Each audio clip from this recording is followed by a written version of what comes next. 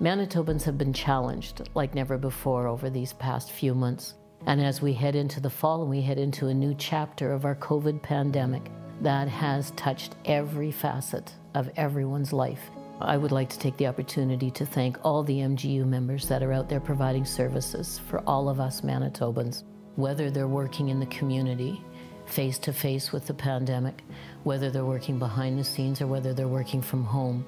The responses that MGEU members have given to their fellow Manitobans through this pandemic are second to none. We need to value that and we need to make sure that our government values them as public services. Keep them public.